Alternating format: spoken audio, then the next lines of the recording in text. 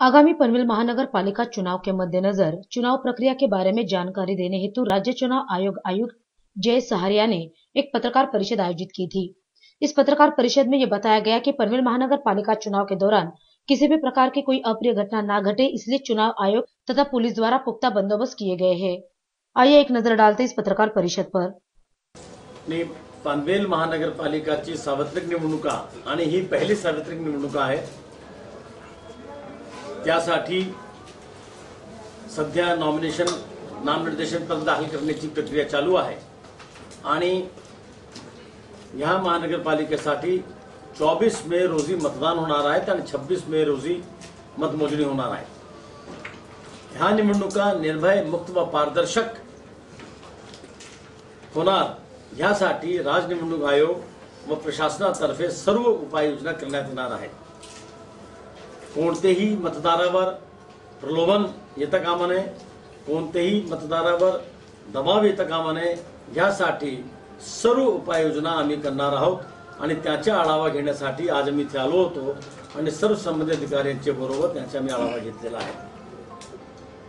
यामध्ये पोलीस विभागातर्फे सर्व प्रकारची प्रतिबंधात प्रतिबंधात्मक उपाययोजना केली जाणार आहेत. त्याची सुरुवात झालेली आहे.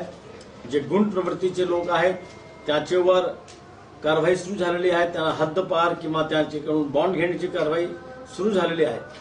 तसेच अवैध शस्त्र जमा करण्याची कारवाई आणि धरारी भरारी पथकाद्वारे पैसे वाटप दारू वाटप आणि इतर जे अवांछनीय गोष्टी आहेत त्याच्यावर कारवाई करण्याची सुरुवात झालेली आहे. आणि जसं जसं आपण चोवीस मेच्या जवळ जाणार आहोत मतदानाचे दिवस जेव्हा जाणार आहोत या कारवाईमध्ये वाढ होणार आहेत जेणेकरून कसलाही अनुचित प्रकार निवडणुकीमध्ये होणार नाही. आज जे आढावा घेतला मला विश्वास आहे की महानगरपालिकातर्फे आणि पोलीस विभागातर्फे योग्य दिशेने पावले उचलली जात आहेत आणि येणाऱ्या काही दिवसांमध्ये त्याचा परिणाम दिसून दिसून लागले. नाही आता असं आहे की आता आपल्याकडे चार लाखपेक्षा जास्त मतदार आहे. प्रत्येक मतदारावर आपण नजर ठेवू शकत नाही.